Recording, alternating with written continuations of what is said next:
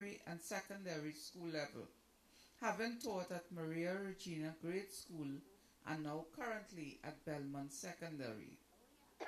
A first class honor roll graduate from the International School of Sports and Physical Education in Havana, Cuba, with a major in basketball. He is bilingual and has held a portfolio of manager for four different national basketball teams. He serves as a translator for different sporting associations and is also an active First Division basketball player with local reigning championship team Straker Nets, who currently holds the longest unbeaten streak in local basketball history. He is currently in the process of starting the Big Brother program, which is a program that targets at-risk students who come from high crime areas that need mentorship and guidance. This program aims to rewrite their thinking and change their fatalistic outlook on life, thus giving them a fair chance to find their place in today's society. Let us welcome Tristan Benjamin.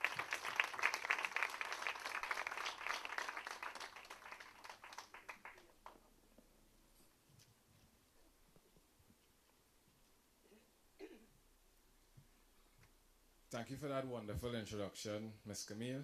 With all protocols observed, everyone, good afternoon. So, I am Tristan Benjamin, basketball player turned physical education teacher, and for a few minutes today, your guest speaker.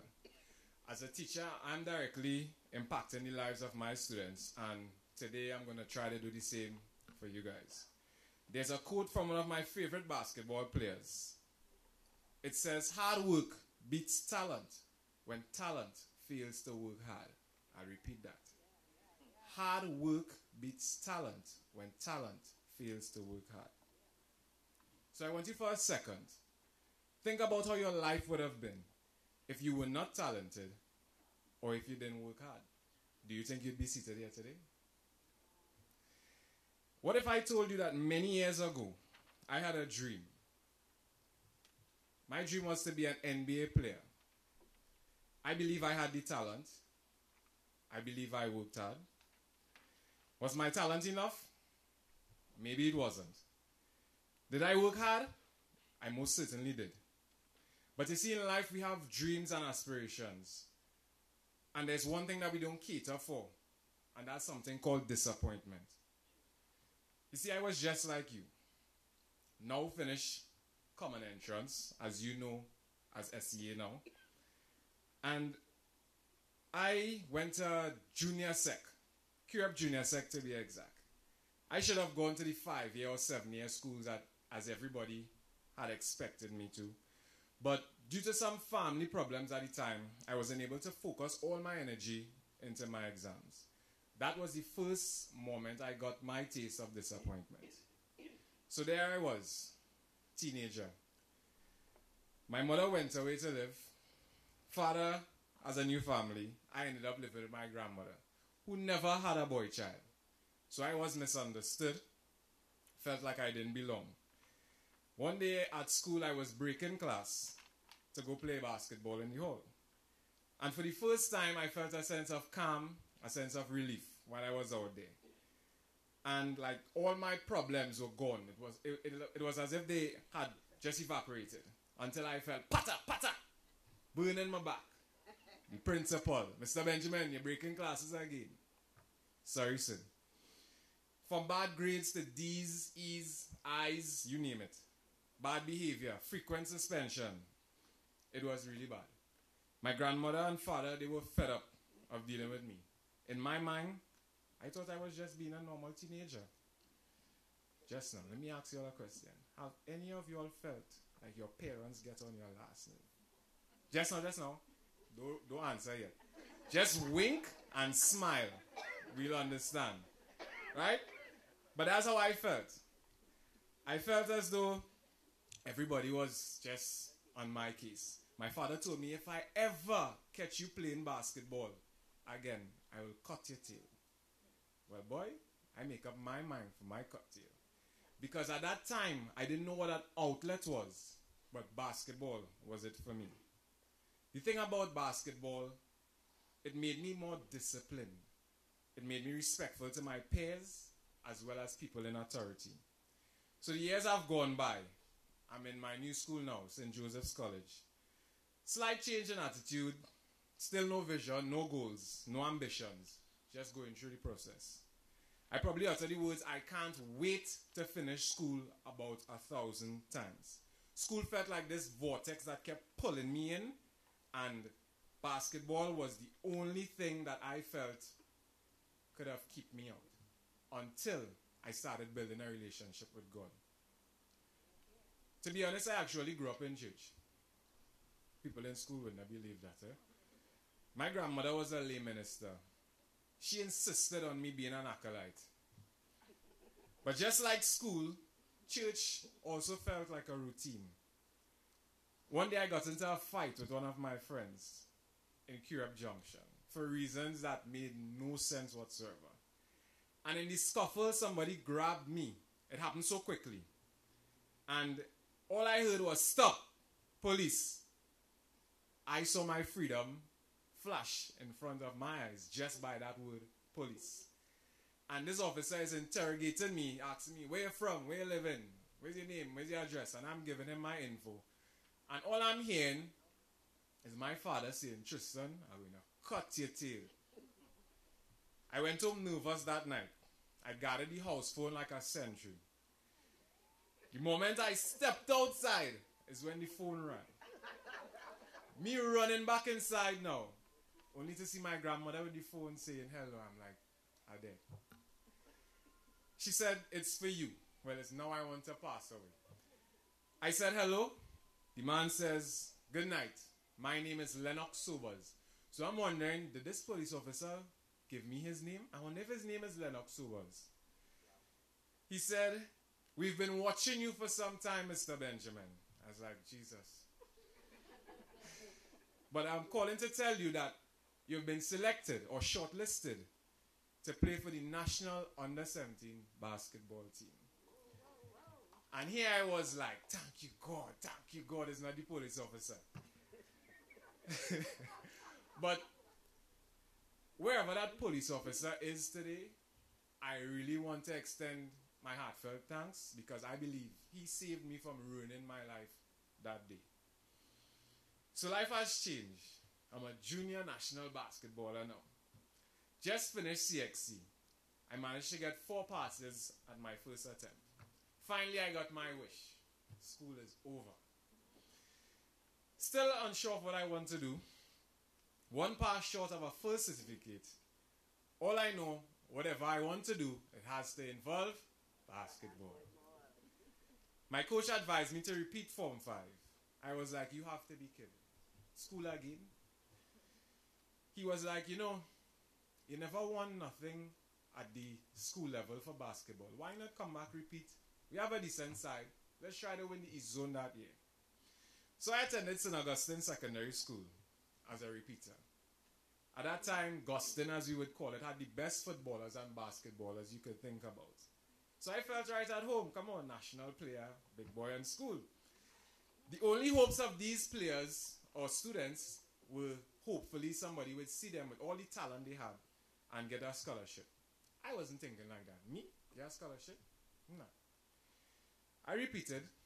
I accomplished the challenge my coach set out for me. We won the East Zone. And I got the one pass I needed. Full certificate. Five passes in the bag.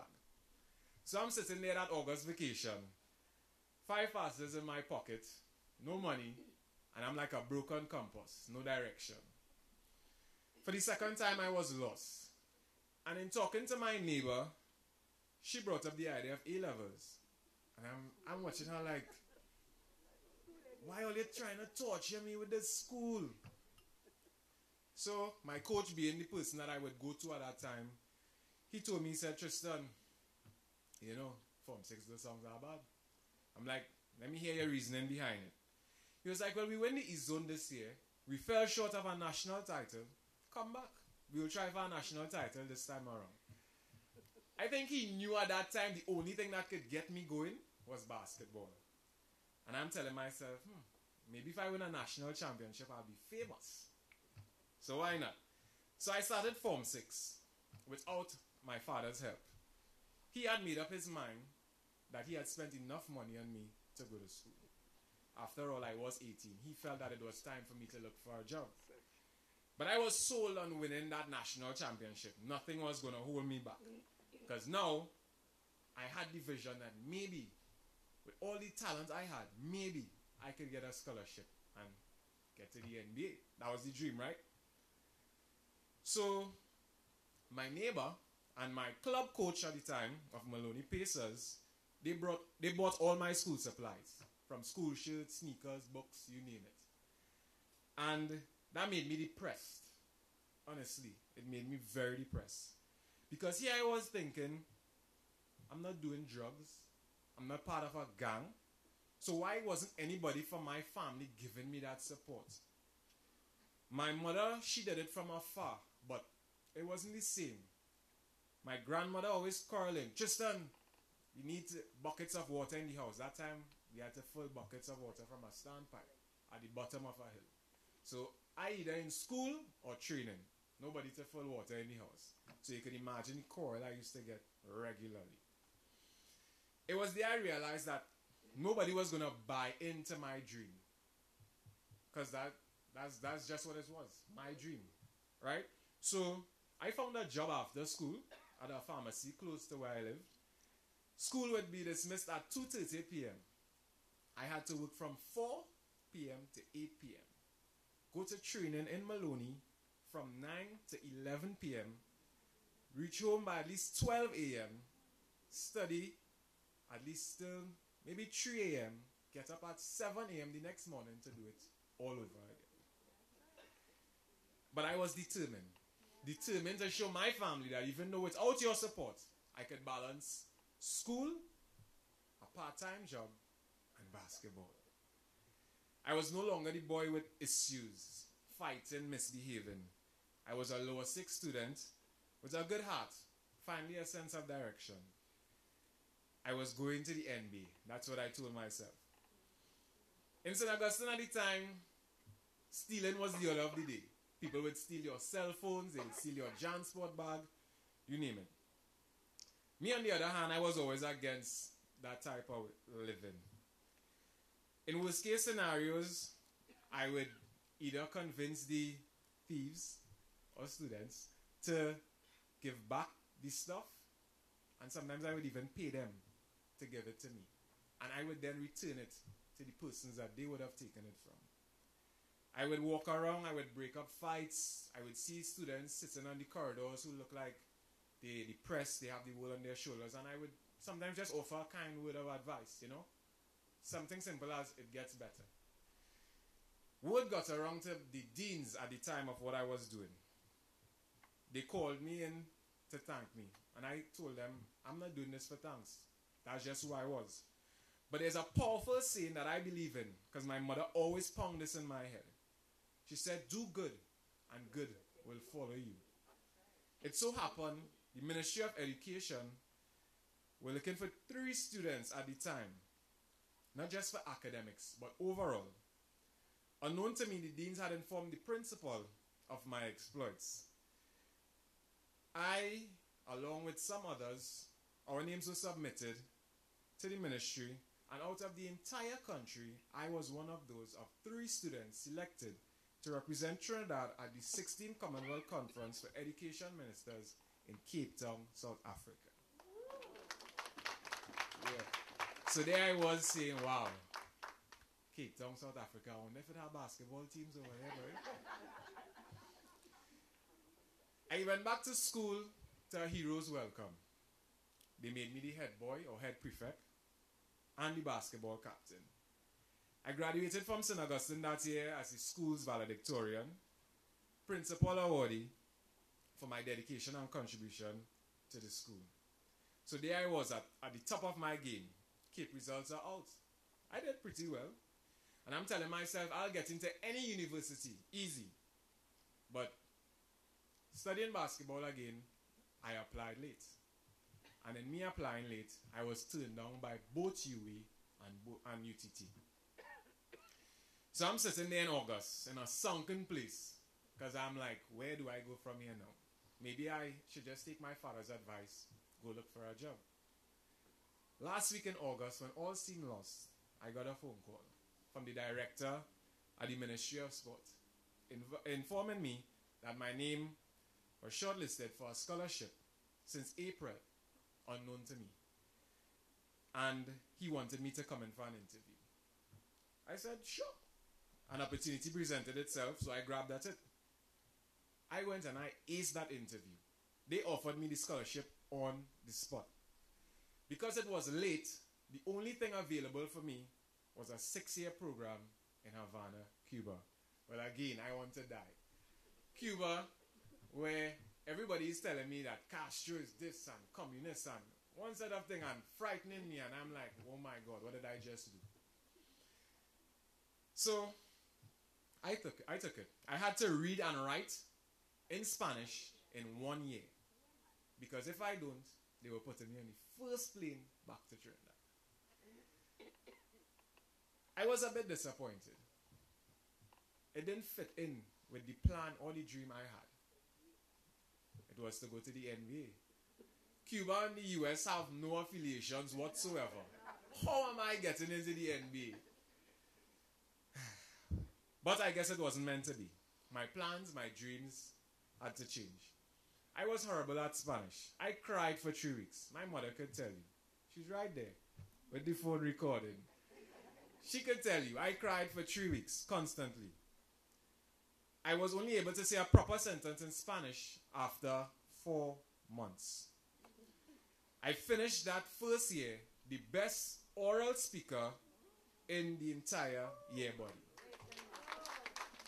I was extremely thankful because in foreign countries, they don't care about your name. They care about what country you come from.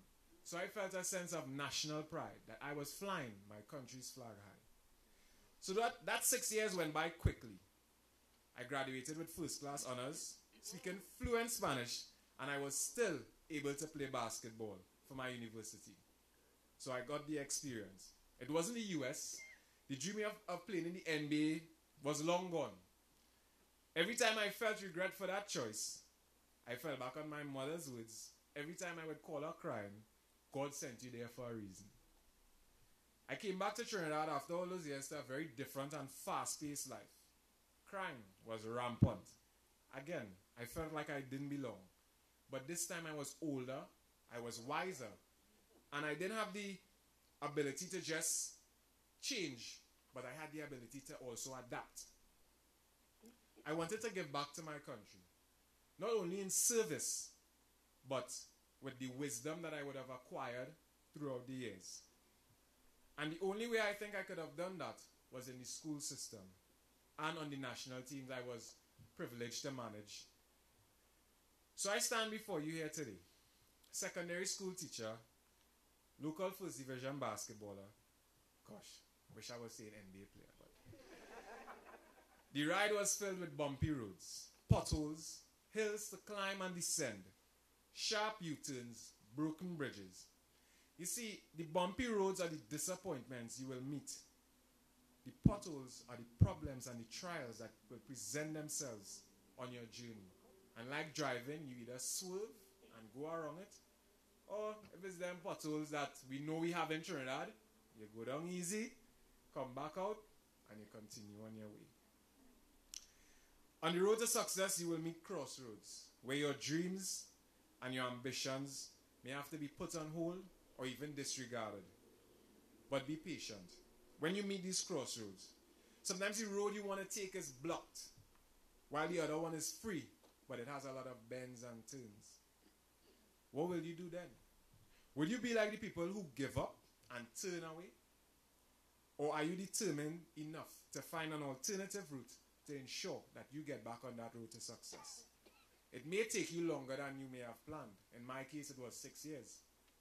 But I assure you, eventually you're on that straight and clear path with the sun rise in the horizon. So four months. Four months, right? Good. No longer standard fives, because that's what I tell my four months right now, because sometimes they play like they're still in standard five. I make sure I have to reiterate that they inform one. Make the best of your school life. Choose your friends wisely, as they will carry you down bumpy roads and leave you there. The more challenges will present themselves as you get older, you need to understand that. Find a passion, be it sports, be it the arts, whatever you choose. Make sure and use it as something to further push you on your road to achievement.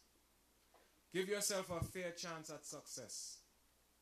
Eliminate distractions, cell phones, social media, the Facebook, the Instagram. These things are always there. Dedicate your time to your studies. I see children in my school struggling daily because of friends. Peer pressure is a serious, serious thing. Don't let anyone tell you all to do something that you know is wrong. Your parents taught you better than that. You are here seated today. You are awardees. That is because you listen to your parents. Don't stop. They know what they are telling you, they know what they are guarding you from. CSEC students, you have climbed a big hill. You're now standing at that mountaintop. But with every climb, there's a descent. And I don't say this to scare you in no way. But know you are now in another phase of your life where one journey is complete, another one begins. I encourage you to further your education as far as your minds may take you and as far as your parents' pockets will allow. No matter what it takes, tell yourself you have to make it. Set goals for yourself. Use the what, the hows, and the whens. What am I going to do? How am I going to do it? And when am I going to do it? Your life is a canvas. You are the artist. Paint the perfect picture. And even if you make mistakes, keep trying until you have that perfect image right in front of you. And to everyone, foster a relationship with God. Very important. Whatever you refer to Him as, make sure you acknowledge Him because we are not here by chance. I am not here by chance. I could have been in so many places. You definitely are not here by chance. The one thing that we all have in common is we have been successful at one point in our lives. So we must appreciate and give thanks for that. I am Tristan Benjamin teacher, basketballer, husband. And as I now close as your featured speaker, there's a song I hear constantly on the radio from a local artist. I think his name is Prince Swanny. You all know Prince Swanny is? the, the, the line of the chorus, it says, aim for the stars, but I reach to the moon. And I like that. But make sure when you get to the moon and you're on top shining, just as the moon shines bright, make sure your light doesn't cast a shadow on anybody else. But make sure your light shines away for others. Because together we aspire, together we achieve. Thank you very much.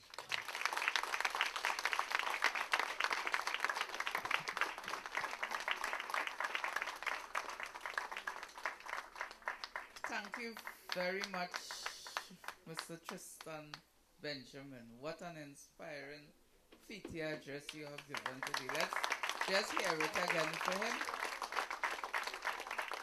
I would now like to invite the Secretary of the Education Committee, Ms. Limo Joseph, to make a presentation to Mr. Benjamin. Can you?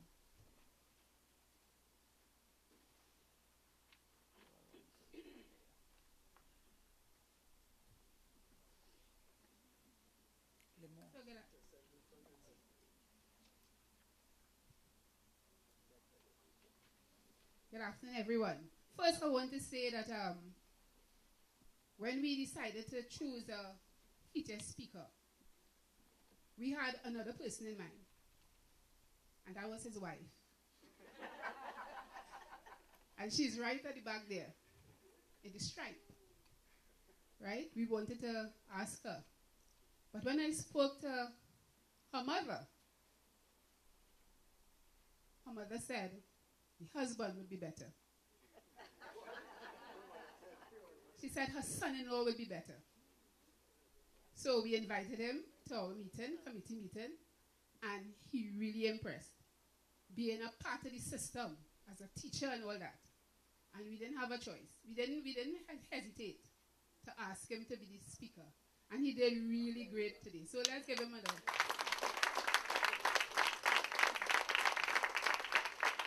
So, Tristan, on behalf of the Telephone Workers Credit Union, we thank you very much for being a part of this awards function for both our youth, young children, SEA, and the CSEC children.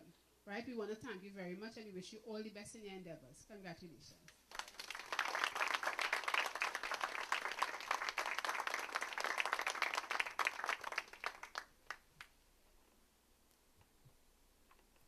Thank you very much, Limo. We now move into the distribution of certificates and gifts.